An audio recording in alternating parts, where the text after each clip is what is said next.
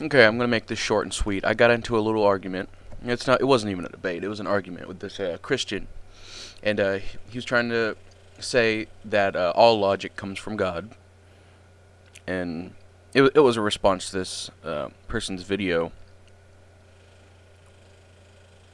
And I was saying that uh, logic is objective, not subjective.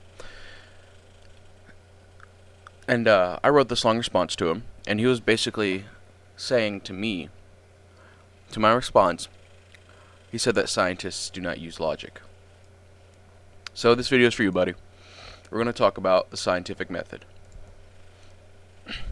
and uh, the branches of logic, or rather, the branches of logic and how the scientific method uses them. What we have under the branches of logic are inductive and deductive reasoning. Now, reasoning is what we use in logic to come to a series of conclusions. Inductive re reasoning, which is what empiricism uses, is based off of observation. We can't know anything empirically under inductive reasoning if we haven't observed it and that's largely what the scientific method does with experiments. It uses inductive reasoning to induce something. And then we have deductive reasoning, which is known as rationalism or rationality.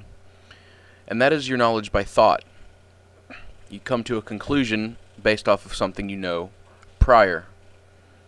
So, well, if something is like this, then logically it'd have to be this. That's basically what they're saying under that branch of logic. For example, empiricism uses the if B then A. It studies the effect and looks for the cause. Rationality if A then B. It looks at pretty much it looks at the cause and figures out the effect. Or hypothesizes the effect is more accurate. However, it is very important to know that both are very important to science. You can't have science without both branches of logic.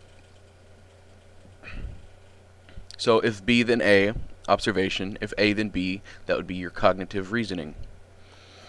You follow? Okay.